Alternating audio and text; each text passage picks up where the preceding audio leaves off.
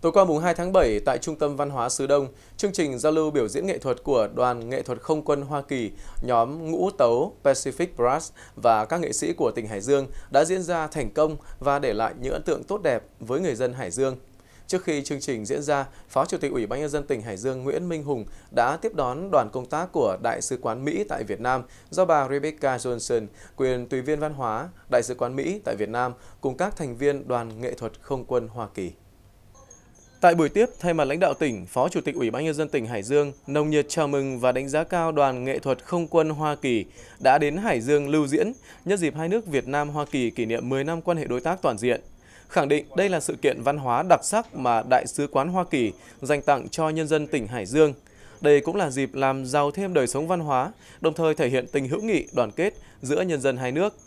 Nhân dịp này, Phó Chủ tịch Ủy ban nhân dân tỉnh Hải Dương mong muốn Đại sứ quán Hoa Kỳ sẽ là cầu nối giữa các doanh nghiệp, doanh nhân của Hoa Kỳ đến nghiên cứu, tìm hiểu và đầu tư tại Hải Dương, nơi có công ty Ford đang hoạt động hiệu quả.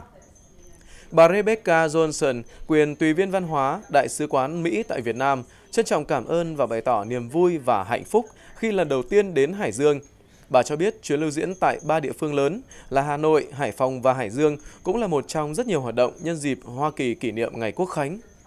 Từ ngày 29 tháng 6 đến ngày 2 tháng 7, Ban nhạc Không quân Hoa Kỳ đã biểu diễn tại ba địa phương là Hà Nội, Hải Phòng và Hải Dương. Với các tác phẩm nổi tiếng cùng các nhạc cụ độc đáo, đêm diễn đã thu hút đông đảo khán giả đến thưởng thức. Pacific Brass là nhóm ngũ tấu thuộc ban nhạc không quân Hoa Kỳ với 24 nhạc sĩ chuyên nghiệp vừa thực hiện các nghĩa vụ quân sự, vừa làm nhiệm vụ kết nối cộng đồng qua âm nhạc. Nhóm Pacific Brass gồm 5 thành viên chơi kèn đồng chuyên nghiệp, biểu diễn và đại diện cho đất nước Hoa Kỳ qua các sự kiện, từ các nghi lễ cấp nhà nước và quân đội cho đến các buổi giao lưu với công chúng. Các tiết mục của ban nhạc Pacific Brass gồm các phong cách cổ điển, jazz và pop, đồng thời giới thiệu nhiều thể loại độc đáo của Mỹ như nhạc diễu hành, Dixieland và New Orleans. Pacific Brass vinh dự đại diện cho những quân nhân của lực lượng không quân Hoa Kỳ mang tới các màn trình diễn âm nhạc hấp dẫn cho khán giả ở mọi lứa tuổi. Trước khi đến Việt Nam, Pacific Brass đã tổ chức lưu diễn tại nhiều quốc gia trên thế giới như Hàn Quốc, Nhật Bản, Ấn Độ, Mông Cổ, Lào.